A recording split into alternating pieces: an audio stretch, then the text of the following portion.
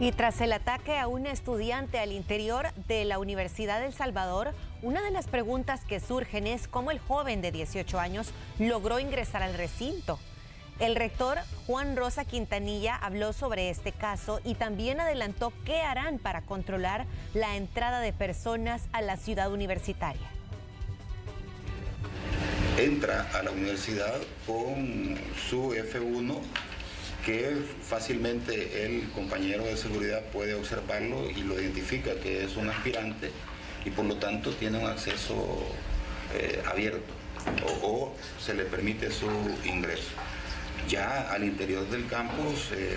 tenemos casi 40 manzanas de extensión los compañeros de seguridad están ubicados en puntos estratégicos y directamente en el punto en donde se genera el incidente, únicamente es el sistema de videovigilancia el que nos da la pauta para hacer las identificaciones correspondientes. Eh, sin embargo, este, estamos retomando medidas fuertes para garantizar de que al campo universitario pueda ingresar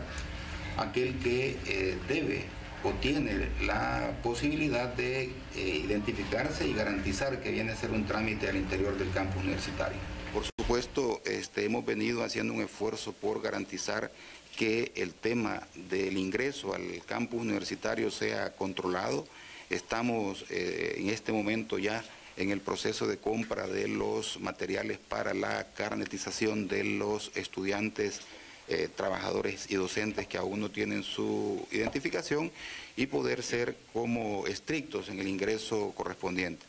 Recientemente hemos implementado un sistema de control vehicular a través de plumas que eh, de alguna manera nos permiten conocer cuáles son o quiénes son los que ingresan con sus vehículos y en ese sentido vamos a eh, poder intensificar